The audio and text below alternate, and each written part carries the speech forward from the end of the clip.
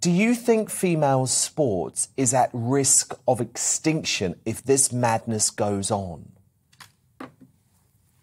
Uh, thank you for having me. Sadly, I do. I think that we are at the precipice of what that could look like ultimately if we don't stand up and make some changes. Um, we need our governing bodies, we need the NCAA to stand up, protect women and their right to their fairness in sport, their opportunity in sport, and uh, the right to the protection and privacy that they should also be having while participating in their sport.